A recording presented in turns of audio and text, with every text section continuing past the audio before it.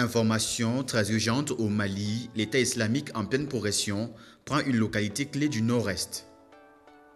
Les combattants du groupe État islamique au Grand Sahara ont pris la localité malienne de Tidermen, isolant la ville de Menaka dans une région du nord-est passée presque entièrement sous le contrôle de l'État islamique au Grand Sahara, ont indiqué des élus et des témoins mercredi à l'AFP.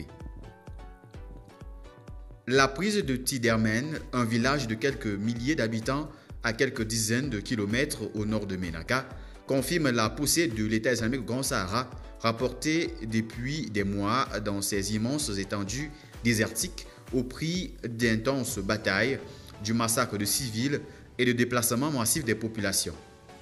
Tous les principaux cercles, subdivisions administratives de la région sont à présent sous emprise de l'État islamique au Grand Sahara. L'État islamique au Grand Sahara a capturé Tidermen dans la nuit du lundi à mardi. Voici les détails.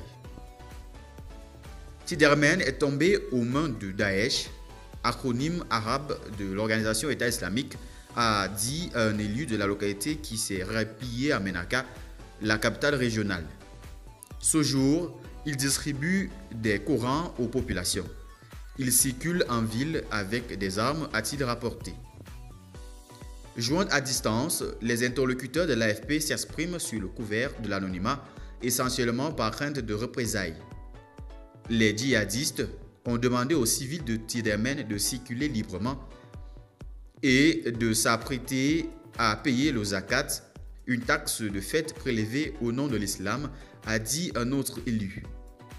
Les régions de Menaka et Gao, plus à l'ouest, sont le théâtre depuis début 2022 d'une vaste offensive de l'État au Grand Sahara. Elle donne lieu à, d'intenses batailles avec les rivaux du groupe de soutien à l'islam et aux musulmans affiliés à Al-Qaïda, les anciens indépendantistes Touaregs qui ont signé la, la paix en 2015, ou encore les loyalistes qui combattaient autrefois les indépendantistes.